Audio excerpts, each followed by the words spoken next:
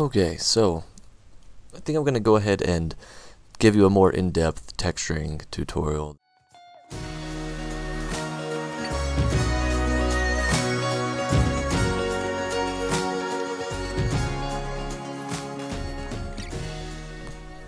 You can uh, watch and kind of learn how to do stuff inside of Gaea regarding texturing.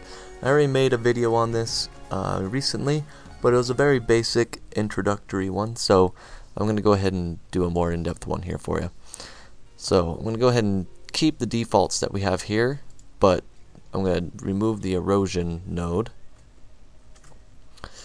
So um, let's go ahead and just keep mountain here, and we're going to just change the seed around until we find something a little bit more detailed than that. I just need it to be a little bit higher. And if it takes too long to find a seed that we like, then I will... That could work. That's really tall, but it's not very wide. We could probably... This will probably do. Yeah, I think this will do. So we have some interesting features here. Lots of warping going on. Uh, we can change these around, but I think I'll just keep these. Now, the reason why we have a the displaced node here is uh, a couple of reasons. One, because that was default, that was just on there when we started. But another one is is because a lot of the nodes that we use that are the primitive nodes, they actually have these really cool features, but a lot of them aren't really natural to begin with. We have to kind of process these primitives to give us what we need and to make them more interesting. And the displace node is really good at doing that because it adds just a bit of displacement to the overall uh, fractal that's making this um, this uh, shape. And if we do the 2D view, as you see here, that's what we're getting. That's what we're getting without it, the displace, and this is what we're getting with the displace. Now it's not very much because we don't really have a whole lot of different you know settings here that we're using. So uh, let's go ahead and kind of ramp it up a bit. So instead of using the standard method, I'm going to use the rugged method. The rugged kind of pinches and squeezes things together and uh, really breaks up the shapes from the original fractal. That looks pretty good. Uh, we also have the strength, scale, complexity, things like that, and this high quality checkbox, which I like to check because it, it adds in a lot of extra details and uh, changes it around quite a bit more without having to change these too much. And uh, I think this will be good for now because we're going to be adding a lot more stuff to it. So now that we have these two, let's go ahead and add breaker. And like I said, or hopefully I said anyways, we are just making our first landscape here that we're going to be texturing. But we, you know, obviously we need a landscape with texture, so that's what we're doing right now. So Breaker is awesome because we can uh, use it to add these big cracks to our landscape. And if you've watched any of my other videos, you know how much I really like Breaker. And I only really do two things. I use hard cracks and I use accurate cracks. The reason for that is because I want them to be as accurate as possible. And if I check hard cracks, then I don't have to change these options all that much. But here's the thing with breaker. I keep popping my jaw. I need to stop doing that. If uh, if we were to change the resolution from 0.5k to 1k and let that build out, you'll notice, keep an eye on the cracks, you'll notice that they get a lot more interesting. They get a lot more uh, sharp, and that's cool and all, but um, when we build this out at higher resolutions, we don't want it to kind of destroy our uh, landscape and then we have to backtrack and then rebuild everything out. So what I recommend doing is go to at least 2k when you get to the breaker part or the breaker erosion. The reason being is because you're only three nodes in and it's not going to take very long to build out all three of these nodes um, if your computer is you know half decent. And then when you get the 2K, if you're looking at how the cracks look in 2K, and if they are passable at 2K, chances are they might be passable at 4K. But if you see any features here at 2K that you don't want or that if they're too sharp and they take up a lot more of the landscape than you would like, rein in some of these or some of these settings. For instance, maybe if we didn't like how deep these cracks right here are, like right here, we can change the depth. If we didn't like how much their the total erosion amount is happening, we can take the erosion power down. If we wanted them to take up more of the landscape but not necessarily um, carve into it too much, we can increase the duration, maybe lower the erosion power and the depth and the river length. It just really depends on what you want. But this is just a kind of like a like a guideline. You don't necessarily have to do this. And the reason why I say this is because I had built up an entire node graph of like 60 nodes. Found out that the breaker node completely destroyed my scene when I built it out at uh, 4K, and I found that the difference between 2K and 4K with breaker is uh, it's noticeable, but it's negligible, I suppose, in the way that you can just you can go to 4K and you'll notice that there's a slight difference, but you can usually work around that, um, and it's not too bad. But anyways, without getting out too much on that, let's go back to 5K, and I'll jump back maybe to 1 or 2K at the end of the video so we can see the overall nature of our landscape. But I'm going to keep it at 0.5K for now just to uh, keep things moving along. So, anyways, Breaker looked good at 2K. Um, I like the way it looked with these basic settings. So let's keep going. Another erosion that I really like is uh, fold. And I like to add fold after I add my erosion. When you add breaker and erosion together like this, what ends up happening is you'll fill in those cracks that we made with the sedimentation from the erosion and that's cool. That's what kind of like what we want, but we don't want it to fill in so much that we lose the cracks. So if we look at it right here, we have these cracks that are more interesting, but the erosion kind of they're still there, but the erosion fills them in quite a bit. So you can do a couple things. You can turn the overall strength down, or you can increase the or decrease the rock softness so that the rocks get a little bit harder. But what I like to do is I just like to take down the duration by one or two steps, or even maybe three, depending on what I need. And what that does is it still gives us the erosion power we need, but it doesn't fill in the cracks as much. So this is without the erosion, and this is with the erosion. And you can see how it's breaking up our entire landscape like this with the erosion the way we want it to, while filling in the cracks but keeping them at the same time. So next is fold, and you'll notice when we attach fold, we will kind of change our landscape completely. We'll start getting these uh, folded sides on our landscape, depending on what angle we're wanting to uh, change it at. And I usually like to default anywhere between 45 and 50 just because that's a really good angle. And you can see right here what it's doing.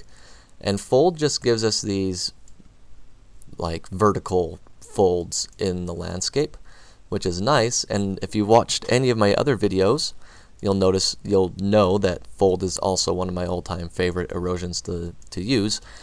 And uh, what we'll do here for this instance is we're going to take the angle completely down, and we're just going to play around with some of these other um, settings like range. And range is the range of the folding on the overall landscape. So if you decrease the range, you'll notice that it's we're still getting the folding, but we've lost a lot of the other interesting features in our landscape. If we increase the range, too much anyways, oh that was the angle, sorry. If we increase the range, we get a lot of our uh, original landscape back, but we lose some of the folding attributes that we like. So if you go somewhere between 50, you'll start noticing where they come in, but if you go lower than 50, like usually around in the 25% range. That's 25 to 30 is about usually where I play around with it because you get a lot of your original shape back, but you also get the folding like right here and over here. That's pretty good. Uh, the scale, obviously, uh, like many of these nodes, scales just affects the scale of the overall effect. Um, folding is the amount of folding that you want to occur on the landscape. If you increase it, it starts folding it a little bit more um, and breaking it apart. The rift is interesting because what that'll do is, as you can see here, we still have that folding effect, but it's added a lot of kind of noise and other features in here that break up the overall landscape, which looks really cool if it's tamed. That is way too much, in my opinion. So if we were to go back down to like right here, where we have more of our original landscape, if we add just a tad bit of rift, we'll break up the original landscape and folding just a tad bit, and we'll get more interesting rocky shapes. And they'll be a little bit more hard looking, which is what I'm going for. So I think this looks good for now. We're going to add another erosion node. And in this erosion node, um, I don't want to totally eradicate the folding that we had going on here. So we're just going to take the erosion that we have right here and we're just going to decrease it by two steps in the duration. That way we break apart the overall uh, fold design but keep the folding look like right here. It doesn't eradicate it. Alright, so I think that looks good, and this is just a very basic landscape. This isn't anything too special. Um, it is an interesting shape overall, but it'll just serve its purpose for texturing here. Okay, so that's our landscape. Now we need to focus on texturing. So one of the things I like to do when I'm texturing is throw out a portal, throw out another portal and drop it right on top of this one, and what that'll do is it'll link this portal to this portal. Now what we're going to do is we're going to take the output of the erosion and plug it into that portal. And what that's going to allow us to do is anytime that we have a node, specifically let's say, let's put this portal down here where we're going to put our texturing nodes. Say we, we, we had um, like a texture node right here connected to this portal right here. What that's going to do is it's going to assign the texture to this erosion node, as you can see here. So anytime that we connect anything to this portal, it's going to be connecting the to the output of this node. But the nice thing about that is now I can move this portal anywhere I want, and I don't have all these lines that are connected and getting in the way. It just keeps things really nice and clean. And I really like the portals. It was one of my most favorite features when it was introduced, and it will probably remain my favorite feature for as long as Gaea exists because things get extremely messy. Okay, so we have this texture. We need another texture. And we're just going to connect that to the same portal. So now we have these two textures, and we need to have a couple other things here. So this portal right here is the output for this erosion. We're going to make another portal.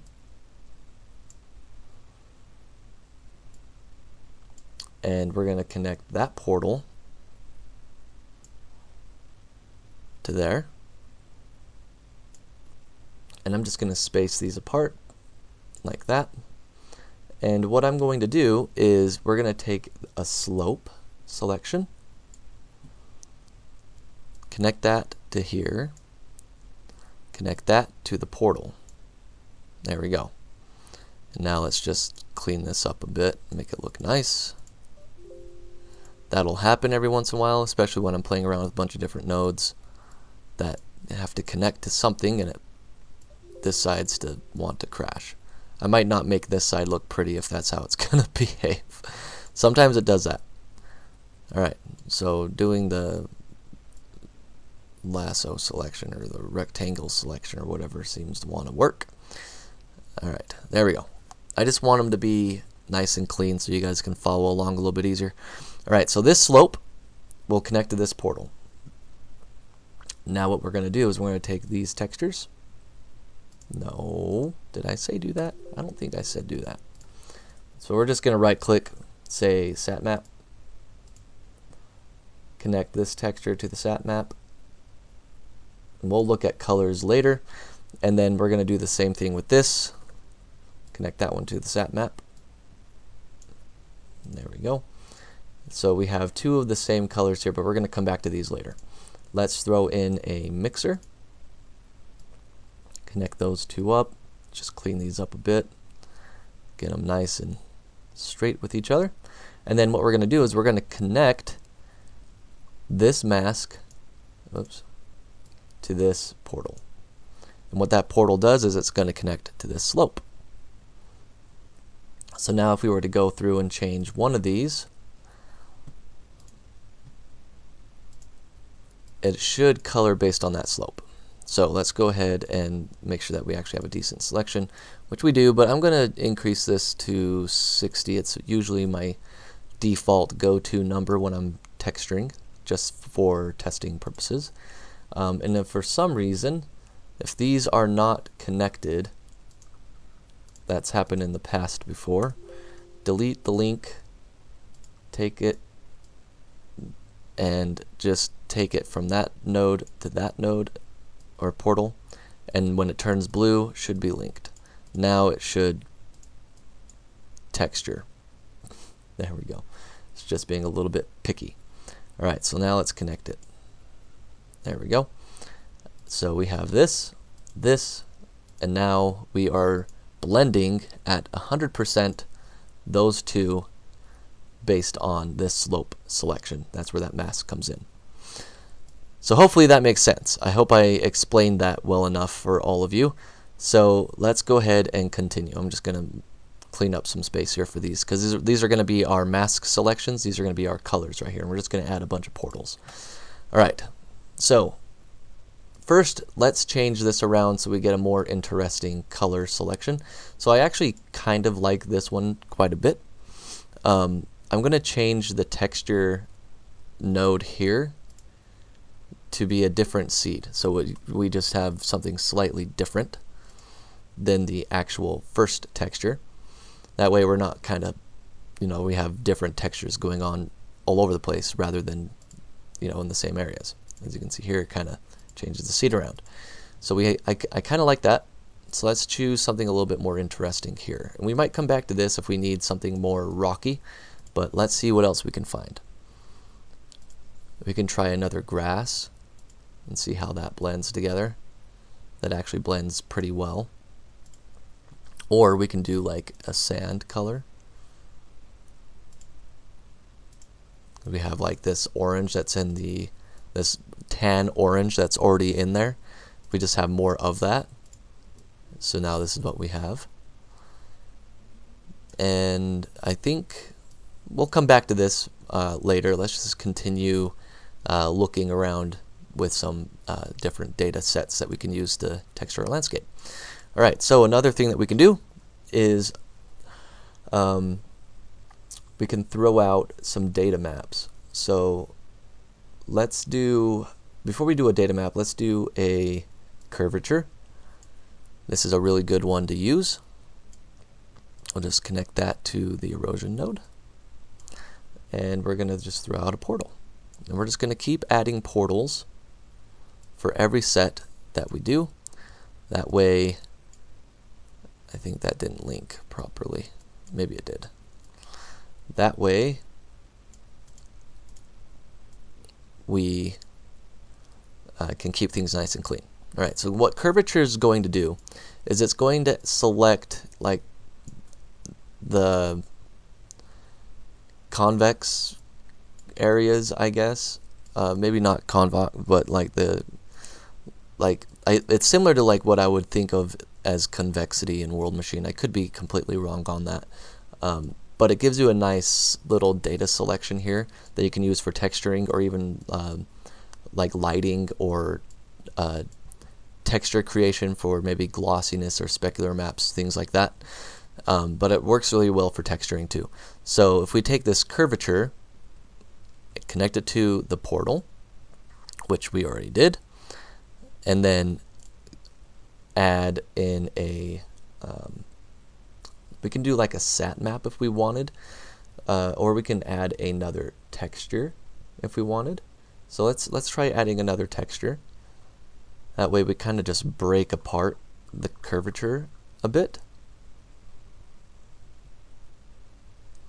Let's see what that looks like. It's always nice to experiment. Okay, so that's too much. We're going to come back to this anyways because we're going to be doing a selection, the, a curvature selection based on slope. But for now, let's just go ahead and add a sat map.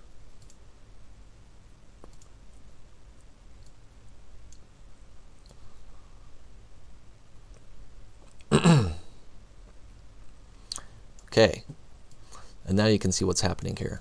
That sat map is being colored based on our curvature right here. If you look in these wider areas, you can see where we have this light sand color coming in. But what we want to do is we actually want to select a color that is not necessarily the same as this color, but close to. So if this one is number 114, so let's take a look at somewhere around that range, 114. Usually there's colors similar to each other in succession. So 114, looks like 115 and 110 actually look pretty good, but maybe 119 might be better. So let's go ahead and add another mix.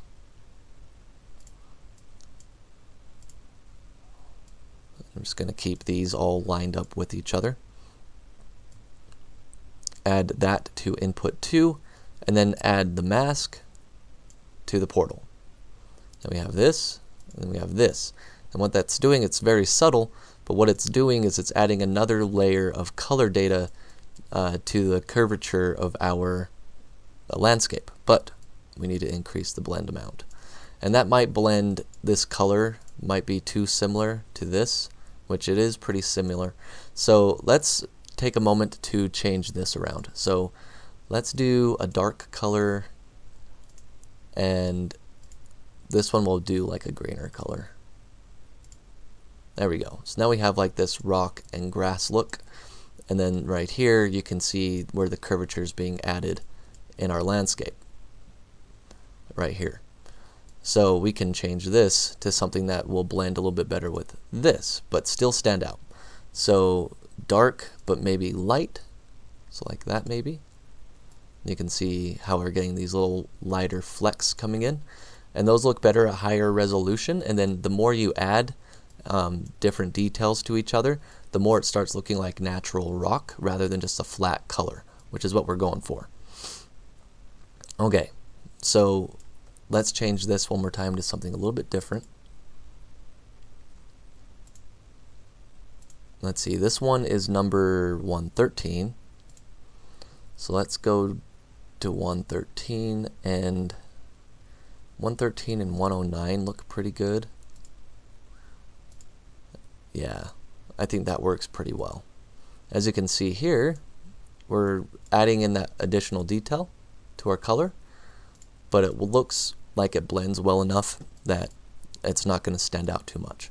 And then this other color, this like grass and dirt color that we have going on, uh, blends in pretty well. And we're going to come back and add more to this as we continue. All right, so what we're doing here is we're just thinking small details, building up on these small details, and just adding them, adding them in through masks. That's all we're doing. All right, let's keep adding some stuff here. So we got the curvature in there, and uh, we're gonna add another one later on, I believe, uh, just because I want to add it based on the slope to get bring in a little bit more detail. If you look at the curvature here, we actually didn't change any of the features here. We can choose vertical if we wanted, and that will give us an entirely different look. And that's what we're going to come back and do a little bit down the road, but not right now. All right, so let's add the next favorite data map, which is protrusion. These data maps are really nice for coloring your environment. Um, and that I don't think that's their main purpose. I could be wrong, but I think they're supposed to be used to kind of help drive different things outside of Gaea, but they're really good for texturing. So let's go ahead and add a portal, and we'll just keep adding these portals until we're done. And if I am doing this weird, for if there's like one portal can drive multiple like outputs, then please let me know because that would be new to me. I, I'm under the assumption that you can only really do one per portal, but I still think it's nicer because I don't have to have these lines going back and forth. All right, so we have this protrusion map. So um, let's go ahead and add another sat map. So we're just going to copy this one, connect it.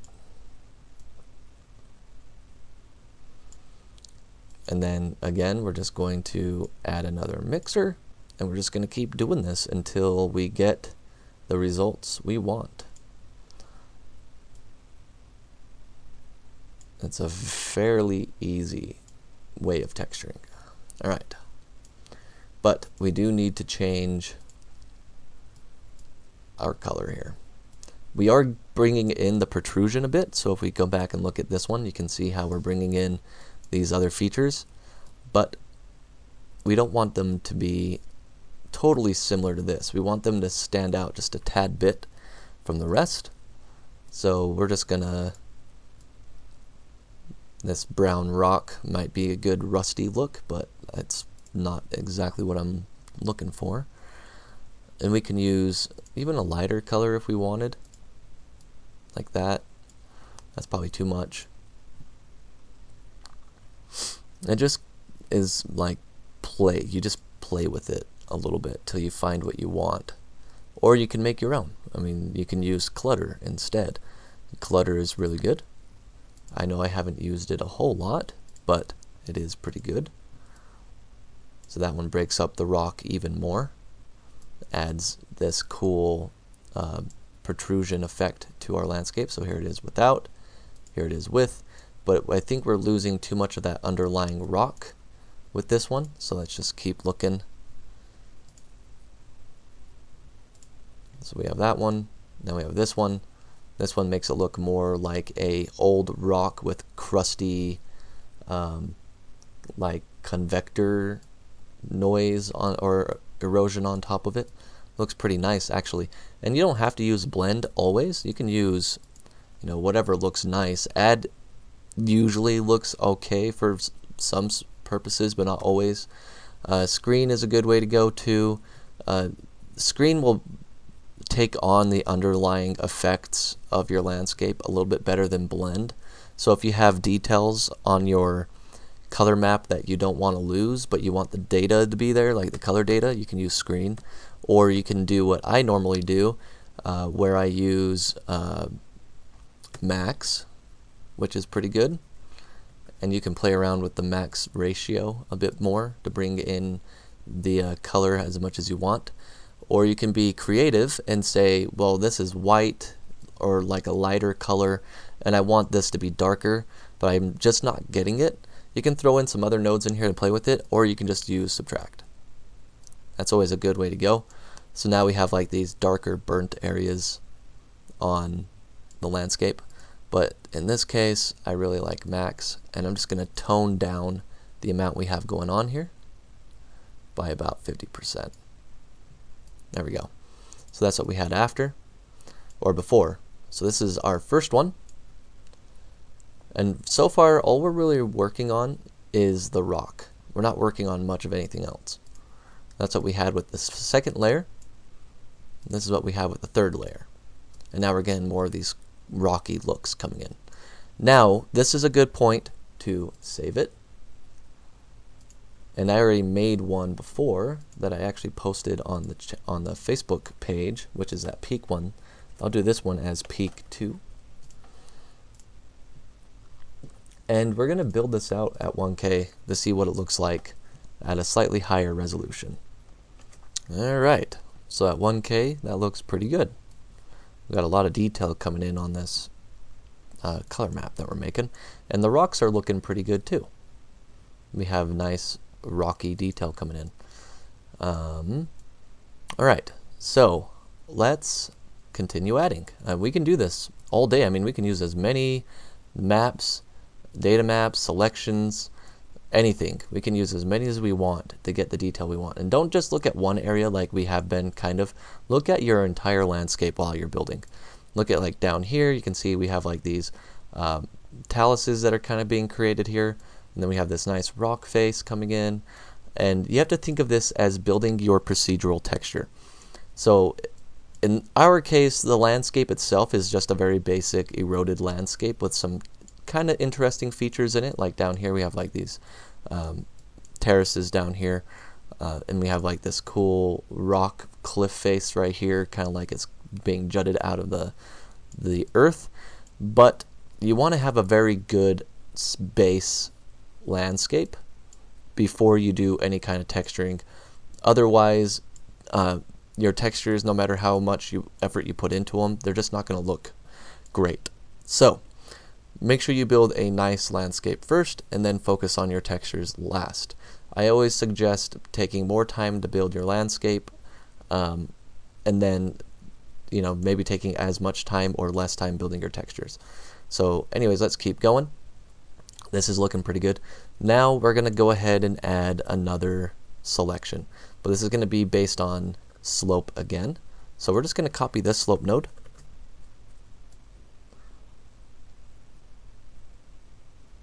I'm just going to set it there, I guess.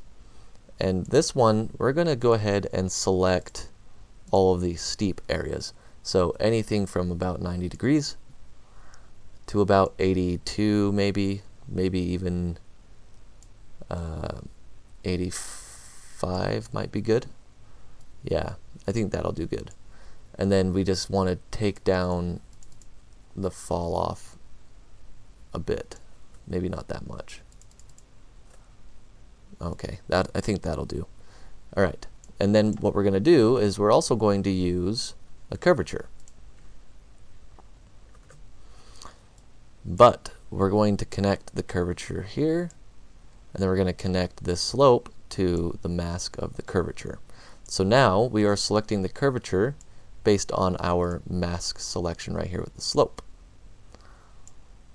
I'm just going to set these up a little bit better. There we go. So that's our slope selection.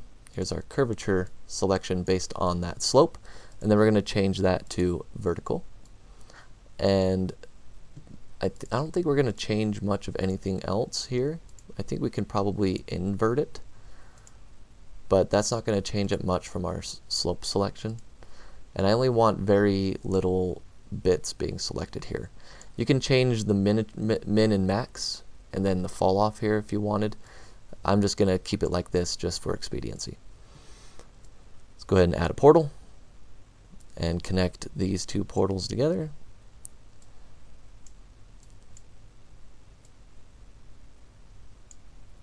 And let's do a sat map.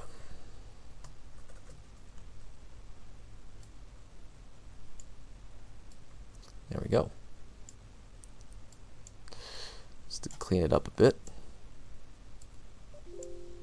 And it's wanting to die again. As per any beta program. Alright, or, you know, mostly beta. Maybe not even mostly. Sorry, Dax. Anyways, uh, that's what we have there. So let's go ahead and use this same one right here, but see how we're going to get these details in there. We need to add another mixer. I'm just going to copy that one. Let's connect all it all, connect it all up.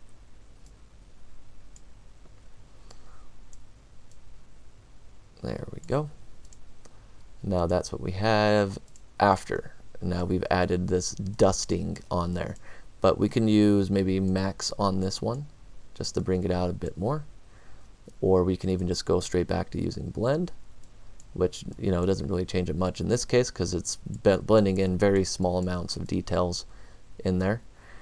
Uh, and again, you know, you can play with it, see what you like. Maybe using subtract, giving it this burnt feeling, might be better. It just comes down to uh, your artistic tastes, I suppose. I like max, but maybe not at 100. 69. 70 might do well. So that is before, this is after. We've just kind of built up this rock layer upon layer upon layer, giving it all these little details rather than having this flat base color going across the entire thing. Alright, so that looks cool. Um, looks good for our purposes. Alright, so let's go ahead and add some additional details in these uh, floor areas, the ground areas. Uh, and there's not a whole lot of detail here going on. We just have like this mountain jutting up out of the middle, uh, which is fine for visualizing and practicing, which is what I mostly do. Uh, but we want to be able to add details in here at the bottom. So we can do it by either adding together, mixing together multiple texture maps and just using different selections based on slope or height, or we could do it based on, um, uh, let's see here, one of these data maps.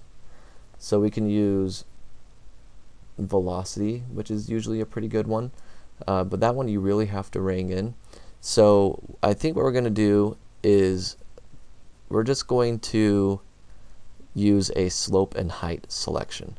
So let's go ahead and do another slope selection.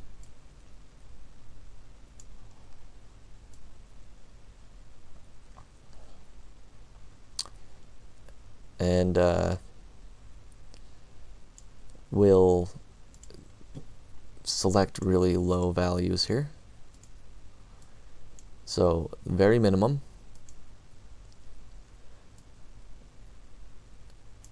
And we'll go to about 15. There we go. So we're going to be selecting mostly everything on the floor and up into these little valley areas on the landscape. And then we're also going to do a height selection on that as well. We don't need to do, uh, we don't need to select everything on the entire landscape at that slope angle. We just need to do it at the lower elevations. So I'm just going to add a height node, height node it's connected to the slope and we're just going to select the very bottom areas. It's about, it's 1%, holy crazy. Realize the elevation on this thing is wicked small. Alright, there we go. Now we're not, we don't have any selection here on the slope, we just have it down here. Alright, let's go ahead and add our portals.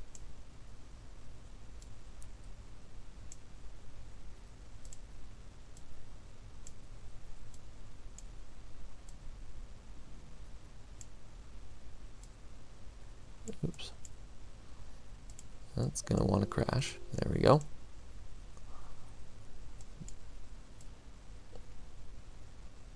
Okay. Now we can add some other stuff here. Um, if we wanted to, we could also maybe throw in another noise here to break it up. So instead of that portal being right there, it's going to crash again we can add like a noise. So let's do like a Perlin noise. Add that to the mask here. Then add that to the output.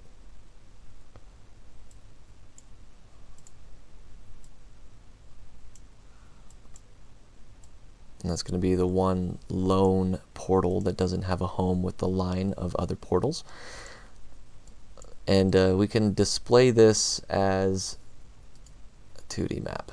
And what this is doing is it's adding all these variations down here in the floor area. So if we just had the slope, this is all we would have is this plain white.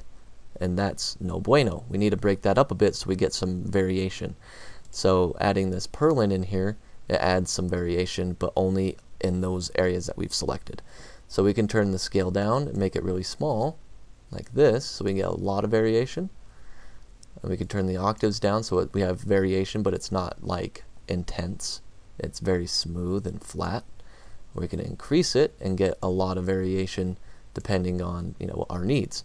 So let's just change the seed and I think we'll keep that for now. Now let's just see what it looks like with the sat map. We'll just hop straight into it.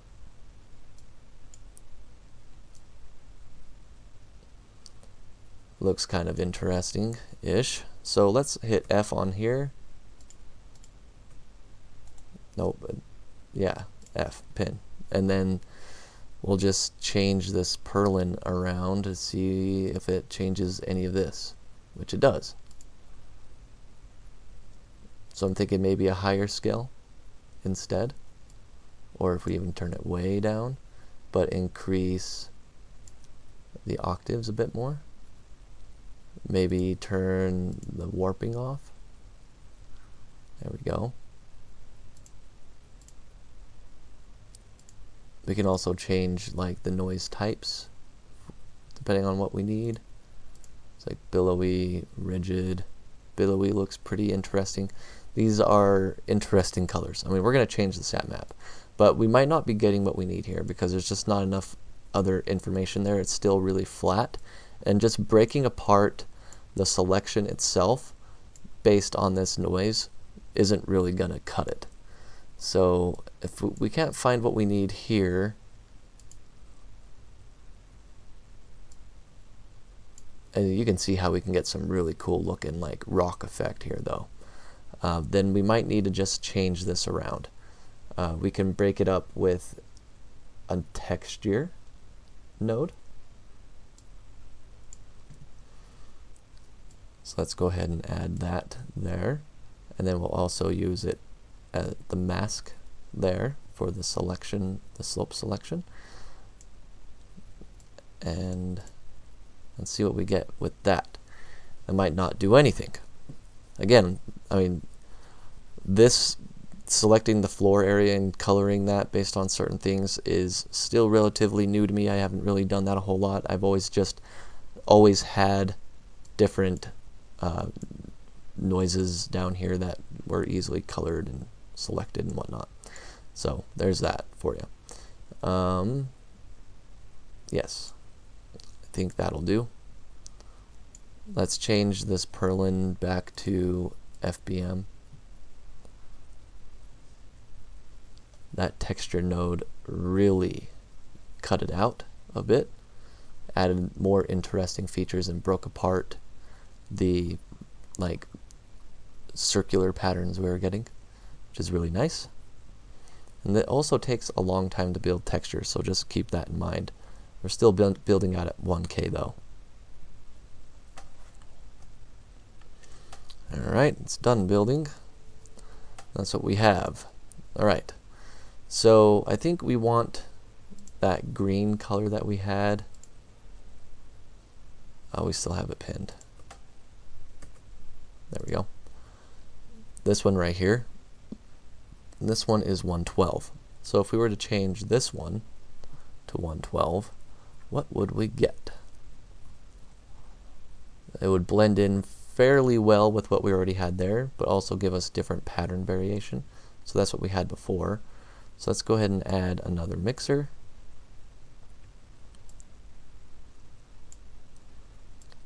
Add the mask to there. And increase the blend. It's breaking up the pattern that we had down there, but I think it's breaking it up in too big a pattern, too big a like patches right there. So let's find another greenish one that gives us more breakup like that one maybe. That was before, this is after. Now we have grass areas and then like this probably dry or dead grassy areas but we also kept our sand and dirt and trees and rock all that fun stuff. We kept all of it. Uh, and we didn't have to destroy these other really cool patterns that we had like these uh, swirly patterns down here that you would get in like sand when there's runoff and things like that or like right here where there could have been like a dry riverbed or maybe down here and this was a lake that dried up or you know whatever your imagination is uh, I mean your, your imagination is the limit on it. Alright so, so we have our texture and we can keep going. We don't have to stop. And we can keep adding and adding and adding until our heart's content or until we run out of memory or you get lose out patience or whatever. But in any case this is all it took I know it took a long time to explain that, but it took longer to set up than it probably did to explain it. So, this will probably conclude the more advanced texturing tutorial. I really like the way this texture map looks from the top down. I like how the rock looks, how the dust looks, all that fun stuff. Looks pretty slick. So um, if you have any questions or concerns, please get a hold of me at www.pwndesign.com or on the Facebook page, whichever floats your boat. And if you want to see me put together a little bit more uh, of these videos for training and learning purposes, please let me know and I will do that for you. I'm going to go ahead and build this out at a higher resolution, throw it into Octane, and uh, we're going to see if we can get it to look you know pretty decent. I think it looks pretty good just colored like this already. And one more thing, uh, I know I mentioned it before and I mentioned it in the other video as well, but you have to consider this part in Gaea, this whole texturing part, as your procedural texturing that you would do in any other program. If you have a good looking terrain and you really rein in your textures a bit more, add, you know, layer upon layer and detail upon detail, you shouldn't have to really rely on third party applications to get you the color data you need. You could probably use different displacements, normal maps, and bump maps to get other details in areas that you need it. Um, but you shouldn't have to really rely on those all that much if you are building these out at high enough resolutions and adding the detail where they belong um, or how they should look. And you can do that totally inside of Gaea. It just takes a little bit of patience, a little bit of time, and a little bit of know-how, and you should be good. That's how I do all of my textures. The only thing I really add after I export anything is a bump map, but the bump map is a noise generated by Octane in C4D. So it's procedural. I don't have to worry about it mapping in some weird way, and I can usually rein in the details as much as I want. So anyways, I'm going to go ahead and build these out at a higher resolution, and I'm going to throw them into Octane. I'll probably do like a quick like speed run time lapse of it. Anyways, thank you.